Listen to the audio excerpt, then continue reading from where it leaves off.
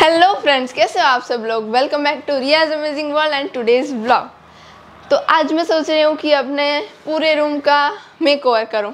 अब मेरा जो सुबह का रूटीन है, वो हो गया, मेरी आज की पढ़ाई हो गई सुबह की और मैंने ब्लॉग सुबह से स्टार्ट इसलिए नहीं कर लिया बिकॉज़ आज मुझे रूम का मेक ओवर करना था, जिसमें ऑलरेडी बहुत टाइम लगेगा। तो मैंने सोचा कि सुबह से ब्लॉग को यहाँ तक लेके आऊँगी तो और भी ज़्यादा लंबा हो जाएगा। सो मैंने ब्लॉग सोचा कि यहाँ से स्टार्ट करता है। एंड हमने जस्ट थोड़ी देर पहले लंच किया। And now let start so आज ना मैंने सबसे पहले ग्रैंडपा को कहा कि यहाँ पर एक होल करके दे। वो एक्चुअली आज सुबह ही फ्री थे। तो मैंने सोचा कि सुबह ही होल करवा लेती हूँ। सो so, मैं रेडी हो गई। उसके बाद मैंने तुरंत ग्रैंडपा को कहा कि यहाँ पर एक होल कर दे। बिकॉज़ मुझे एक चीज़ हैंग करनी है। अब क्या हैंग करना है? वो तो मैं आपको अभी नहीं बताऊँगी, उसके लिए आपको पूरा ब्लॉग एंड तक देखना पड़ेगा। अभी हम जस्ट इसको अंदर लेके आए। अब मम्मा ऊपर आ ही रहे थे तो मैंने सोचा कि मम्मा को बोलूँ कि स्टोरेज कैबिनेट थोड़ी हैवी है तो यहाँ से यहाँ तक रख के दे बिकॉज़ वो बाहर है तो बाहर से अंदर रख के दे तो मम्मा ने रख के दी। And I am little bit confuse कि स्टोरेज कैबिनेट यहाँ पर अच्छी लगेगी कि नहीं लगेगी। पहले यहाँ पर वो छोटा सा पिंक टेबल था बट अब वो मैं सोच रही हूँ यहाँ पर ना रखूँ तो ये स्पेस ना मुझे थोड़ी सी खाली लग रही थी तो मैंने सोचा क्यों ना स्टोरेज कैबिनेट को यहाँ पर लाया जाए। अब इसके अंदर सारा मेरा craft D painting drawing blah blah blah वगैरह का सामान है। सो so, देखते हैं इसको। एंड अभी मैं ये सब चीज़ें यहाँ पर लेके बैठी हूँ। अब मुझे ये तो माइंड में आइडिया है कि मैं इन सब चीज़ों से क्या करूँगी। स्टोरेज कैबिनेट का फ़िलहाल कुछ कंफ्यूजिंग वाला है बट इसका कंफ्यूजिंग वाला नहीं है। इसका एकदम क्लियर स्ट्रेट वे में आइडिया है। सो so, सबसे पहले मैं ये कर लेती हूँ। सो so, ये है सारी शीट्स फोर शीट्स हमने ली है छोटी वाली थोड़ी सी एंड फोर उससे थोड़ी सी बड़ी वाली ली है. जो बड़ी वाली है वो स्पेशली वाटर कलर्स के लिए है. सो so, मैं सोच रही हूँ कि बड़ी वाली यूज़ करूँ बिकॉज़ मैं वाटर कलर का यूज़ करने वाली हूँ. तो मैंने कुछ डी सोच के रखे हैं रूम मेक के लिए. तो सबसे पहले मैं वो सब कर लेती हूँ। मतलब ये रूम मेक ओवर ना most of D I Y base ही होगा। तो पिछले फोर टू फाइव मंथ से आप लोग मुझे बोल रहे थे कि मैं कुछ डी आई वाई करूँ मैं कुछ डी आई वाई करूँ। बट अनफॉर्चुनेटली पिछले फोर टू फाइव मंथ से मैं डी कर ही नहीं पा रही थी बिकॉज़ ऑफ़ शिफ्टिंग तो हम शिफ्ट हो रहे थे। सो so, मैंने सोचा कि कल मैंने कैसे स्कूल सप्लाई रिलेटेड डीआईवाई किया था। सो so, आज मैं रूम ट्रांसफॉर्मेशन के रिलेटेड रूम मेकओवर के रिलेटेड बहुत सारा डी आई करूँ। जैसे कल मैंने किया था। सो so, सबसे पहले मैं वो कर रही हूँ जो करने का मुझे बहुत ही मन था और वो मुझे सबसे पहले करना था। वो है D I Y D I Y D I Y actually ये ना मैं एक फ्रेम टाइप बना रही हूँ जिसमें मैं अंदर लिखूँगी motivational and inspirational quotes actually ये जो मैं लाइंस कर रही हूँ ना, वो थोड़ी ज़्यादा टाइम कंज्यूमिंग है। बाकी ये डीआईवाई बन जाएगा, फिर तो इतना मस्त लगेगा। सारे डी वैसे मुझे क्या लगता है कि रूम में ना कोई मोटिवेशनल इंस्पिरेशनल कोर्स तो होने चाहिए, जो उठकर हम देखें और हमें इंस्पिरेशन और मोटिवेशन मिले। एंड यहाँ पर मैंने ट्यूब कलर्स यूज़ किए हैं, और ये मैंने वाइट कलर से लिखा है तो थोड़ा लाइट पड़ रहा है तो मैंने इसके दो लेयर्स किए हैं। वैसे जब पूरा रूम ट्रांसफॉर्म हो जाएगा ना उसके बाद मैं एक बहुत ही अच्छी रील बनाऊँगी जो आ जाएगी इंस्टाग्राम अकाउंट पर। उसका नेम है रियाज अमेजिंग वर्ल्ड तो आप मुझे फॉलो कर सकते हो एंड वो रील भी देख सकते हो। वो मतलब बहुत ही अच्छी रील बनेगी। मेरा फ़र्स्ट पेंटिंग कंप्लीट हो गया है और मैं ये सेकेंड वाला पेंटिंग कर रही हूँ। और उसमें ना मैंने इस तरह से एकदम ग्रेडियंट वाले नहीं बट इस तरह से इफ़ेक्ट दी है। और इसमें मुझे लगा कि ब्रश पेन से मैं करूँ बट मैंने पूरा लिख लिया, फिर इस तरह से ना स्प्रेड हो गया। तो मुझे लगा कि नहीं, मैंने वो पेंट वाले से लिखा होता तो ज़्यादा अच्छा रहता ब्लैक और इसमें ये जो मैंने बैकग्राउंड किया है ना, वो वाटर कलर केक से किया है। और मैंने कोड लिखा ना, उसके बाद मुझे लगा कि ये नीचे और ऊपर वाली स्पेस तो थोड़ी सी खाली खाली लग रही है। तो आप अगर सेम टू सेम ऐसा बनाओ ना तो क्या करना कि थोड़ा ऊपर से लिखना स्टार्ट करना एंड हैंड राइटिंग थोड़े बड़े रखना। मतलब मैंने जब लिखना स्टार्ट किया ना, एक दो वर्ड्स लिखे, फिर मुझे लगा कि ओ ये तो थोड़े ज़्यादा ही स्मॉल हैंड राइटिंग हो गए। बट फिर क्या, मुझे तो वही हैंड राइटिंग में लिखना पड़ा। बट आप ऐसा मिस्टेक मत करना। और अब मैं कर रही हूँ तीसरा ड्राइंग जिसके लिए मैंने light green dark blue and white colour को मिक्स किया है। और ये वाला टर्किश कलर बनाने के लिए। तो मुझे थोड़ा लाइट में टर्किश चाहिए था, इसीलिए वरना हम लाइट ग्रीन और डार्क ब्लू को मिक्स कर दे तो भी टर्किश कलर ही बन जाता। अरे हाँ बातों बातों में मैं आपको एक चीज़ तो बताना भूल ही गई। ये जो मैं शीट यूज़ कर रही हूँ ना, वो स्पेशली वाटर कलर के लिए ही है। एंड इसकी बॉर्डर वैसे हम स्केच पेन से भी कर सकते हैं बट मुझे ऐसे कुछ थिक जैसी बॉर्डर चाहिए थी तो मुझे स्टेशनरी में ये वाला अच्छा दिख गया तो मैंने ये वाला ब्लैक ले लिया और उससे बॉर्डर की।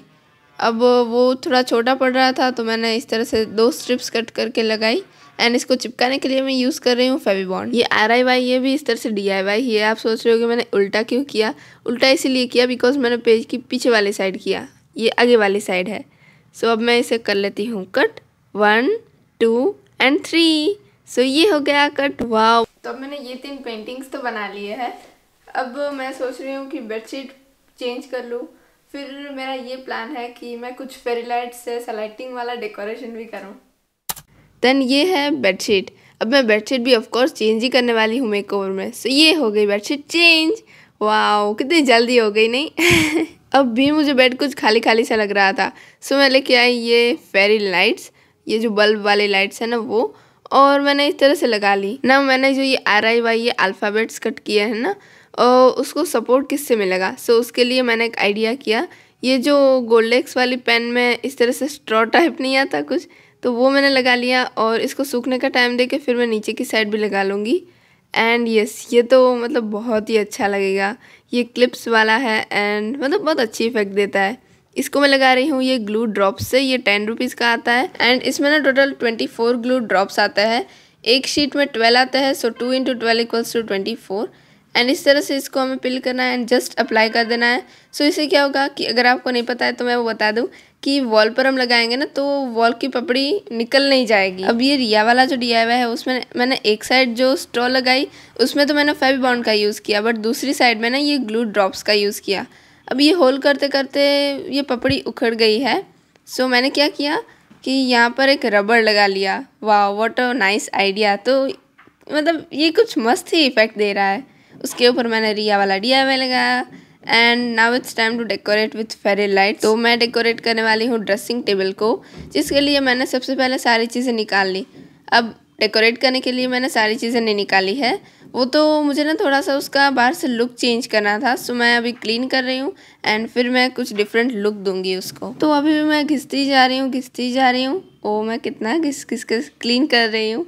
Okay so now it's time to decorate dressing table with fairy lights so मैंने उसमें भी ग्लू ड्रॉप्स का यूज़ किया है एंड उसी से डेकोरेट किया है। आई I मीन mean, उसी से पेस्ट किया है। और ये जो फेरी लाइट है ना उसकी लेंथ इतनी ज़्यादा नहीं थी सो so, थोड़ी कम लेंथ में मैं कर पाई डेकोरेट एंड अब मैंने शोकेस के अंदर फेरी लाइट्स डेकोरेट कर ली. अब थोड़ा सा इसको चेंज कर लिया एंड बाहर का लुक चेंज हो गया ड्रेसिंग टेबल का. देन मैंने फ्लावर्स पर भी फेरी लाइट्स लगा ली. अब ये बहुत छोटी थी लेंथ में सो मैंने सोचा फ्लावर्स पर लगाते हैं. एंड मेरा रूम अब मेक हो गया है. सो so, फाइनली पूरे रूम का मेक हो गया है. एंड आपको पता है अभी कितने बज रहे हैं? अभी रात के एक बज रहे हैं. यस yes, तो मतलब मैं सोच रही थी कि मैं सुबह करूँगी। फिर मैंने सोचा नहीं नहीं एक साथ कंप्लीट करके फिर ही सोती हूँ। सो so, अभी फाइनली मेरा रूम का मेक ओवर कंप्लीट हो गया है। एंड स्पेशली तो वो जो सारे पेंटिंग्स है ना दिन उसको बनाने में बहुत ज़्यादा ही टाइम लगा। तो अब मैं आपको दे देती हूँ रूम की टूर स्टार्ट करता है यहाँ से। तो आई थिंक मैंने आपको ये कहा था कि ये रबड़ यहाँ पर क्यों लगाया है? एक्चुअली इसलिए लगाया है बिकॉज़ होल करते करते ना वॉल की थोड़ी सी पपड़ी निकल गई थी। सो so, उसको ढकने के लिए लगाया है। और ये हैंगिंग वाला ना बहुत क्यूट है जो पहले भी था एंड अभी भी लगाया है। यहाँ पर मैंने आर आई वाई ये वो डी आई वाई किया। बिकॉज़ मुझे डी आई वाई करना बहुत पसंद है एंड मैं सोच रही थी कि मेरे रूम में कुछ खास डी आई वाई है ही नहीं। कुछ खास क्या? कुछ भी डी आई वाई नहीं था मेरे रूम में। सो so, मैंने सोचा कि आज तो रूम डेकोर वाला डी आई वाई तो करते ही है मतलब इस तरह से मैंने जो आज किया वो। और आप लोग भी बोल रहे थे कि कुछ डी आई वाई करो रूम के लिए सो so, मैंने फाइनली कर लिया है। और यहाँ पर मैंने फेरी लाइट्स लगाई हुई है। Now moving towards this side so ये है मेरा पूरा बेड ये जो बेडशीट है, वो भी नहीं है। एंड ये ट्राइंगल वाले जो डिज़ाइन वाले पिलो कवर्स है, वो भी नए हैं। एंड यस ये एक ऐड हुआ बेड पर। और ये वाली फेरी लाइट यही सोच रहे हो ना कि इसकी लाइट अच्छे से क्यों नहीं आ रही है? एक्चुअली वो थोड़ी सी डल हो गई है। बट इसका कलर कॉम्बिनेशन बहुत अच्छा है। अब चलिए चलते हैं इस साइड सो so, यहाँ पर ये है मेरा साइड डेस्क जिसके ऊपर मैंने रखा है। ये क्यूट सी फ़ोटो फ्रेम आप यही सोच रहे हो ना कि इस फ़ोटो फ्रेम के अंदर एक क्यूट क्यूट प्यारी सी बच्ची कौन है? वो मैं ही हूँ। अब यहाँ पर एज यूजल मेरी पानी की बॉटल एंड ये एक छोटा सा फ्रूट वाला सिलिकॉन कोस्टर है। अब ये आ गया मेरा सबसे प्यारा एंड क्यूट सा डीआईवाई कॉर्नर सो so, ये है मेरी स्टोरेज कैबिनेट जिसके ऊपर मैंने ये सब चीज़ें रखी हुई है। सो so, बेसिकली ये सारी है सिलिकॉन की प्लेसमेंट्स ये है बहुत प्रिटी सी डायरी यहाँ पर तो एकदम छोटे छोटे की चेन्स हैं। दैन ये साइकिल है जिसको ये टेडी बैग चला रहा है। दैन मूव करता है यहाँ पर। ये बेसिकली वो क्लिप वाला है। सो so, मैंने इसको इस तरह से यूज़ करने का आइडिया सोचा। अब यहाँ पर ये तीन क्लिप्स बच रही थी तो मैंने सोचा कि यहाँ पर क्यों ना मैं की चेन्स लगा लूँ। अब ये तीनों मेरे ड्राइंग्स हैं। या फिर आप कह सकते हो, ये तीन मेरी डीआईवाई फ्रेम्स हैं। फ्रेम्स इसलिए बिकॉज़ मैंने यहाँ पर ऐसे थिक सी बॉर्डर करने की ट्राई की है। बट एक्चुअली हुआ ये कि मैंने जो ब्लैक शीट यूज़ की, वो इतनी थिक नहीं थी जितनी मुझे चाहिए थी। बट मैंने सोचा कि थोड़ा सा तो ऐसे लुक आएगा तो मैंने वो पेस्ट कर दी यहाँ पे। एंड कुछ मोटिवेशनल इंस्पिरेशनल कोर्स का डीआईवाई उसके बगैर मुझे कुछ रूम में थोड़ा अधूरा अधूरा लगता था कि कुछ डीआईवाई मिसिंग है। सो so, मैंने इसमें ना ऐसे इंस्पिरेशनल कोर्स लिखे मोटिवेशनल कोर्स लिखे। और हाँ अब मुझे भी आप लोगों की तरह यही लग रहा है कि मेरा रूम भी डी आई से भरा हुआ है। और ये है मेरी डेली डायरी अब आप सोचोगे कि ये डायरी में तो मैं पहले लिखती थी लिखती थी पुराने घर में बट वो इतना मैं मतलब कंसिस्टेंटली नहीं लिख पाई थी तो अभी बहुत सारे पेजेस पेजेस इसके बचे हैं। सो मैंने सोचा कि इसको नहीं यूज़ करने से अच्छा है कि मैं इसमें ही कंटिन्यू करूँ पेजेस वेस्ट ना हो इसलिए। एंड जैसा कि आपको पता है कि मैंने past three to four month से अपनी डेली डायरी में कुछ लिखा नहीं है। सो अब से मैं स्टार्ट करने वाली हूँ। सो so, ये है मेरा ड्रेसिंग टेबल अब यहाँ पर ना मैंने कुछ चेंजेस किए हैं बाहर। सो so, ये वैनिटी में बेसिकली चेंजेस किए हैं ये yellow pretty pretty vanity and ये pink pretty pretty vanity and इसके ऑर्गेनाइजेशन में भी थोड़े बहुत चेंजेस किए हैं. And of course fairy lights लगाई है. मुझे ना रूम में मतलब इस तरह से छोटी छोटी लाइट्स बहुत पसंद है. सो so, अब आते हैं मेरे एक स्पेशल कॉर्नर पर. आई I मीन mean, इस रूम के स्पेशल कॉर्नर पर. सो so, वो है ये वाला कॉर्नर मेरा showcase so first of all यहाँ पर मैंने जो ऐड किया है वो है फेरी लाइट यहाँ पर मैंने जो रखा था वो और यहाँ पर जो रखा था वो मैंने ना स्टोरेज कैबिनेट पर डेकोरेट करना था तो मैंने वहाँ पर रख दिया. सो so, इस तरह से कुछ एडजस्ट कर लिया मैंने यहाँ पर. और बाकी तो ऑलमोस्ट आप लोगों ने देखा हुआ ही है एंड एक ब्लॉग में भी मैंने आपके साथ ये शेयर किया था. सो so, मैंने आपको पूरी रूम की टूर तो दे दी बट अभी एक साइड मिसिंग है तो उसकी टूर दे देती हूँ. वो है ये ये है मेरा बचपन का छोटू सा टेबल और इसके ऊपर ना मैंने वॉलपेपर चेंज कर लिया है बिकॉज़ जो इसके पहले वॉलपेपर था, वो पुराना लग रहा था डर्टी हो गया था सो मैंने ये फिर से चेंज कर लिया। एंड यहाँ पर मिकी एंड मिनी है। वैसे ये ना मल्टीपर्पज़ टेबल है तो इसको मैं कहीं पर भी यूज़ कर सकती हूँ। आई मीन कहीं पर भी रख सकती हूँ। तो कैसा लगा आपको ये मेरा डीआईवाई रूम डेकोर अच्छा लगा हो तो वीडियो को लाइक एंड चैनल को सब्सक्राइब मिलते हैं नेक्स्ट ब्लॉग में, यानी कि कल। Thanks for watching. Bye.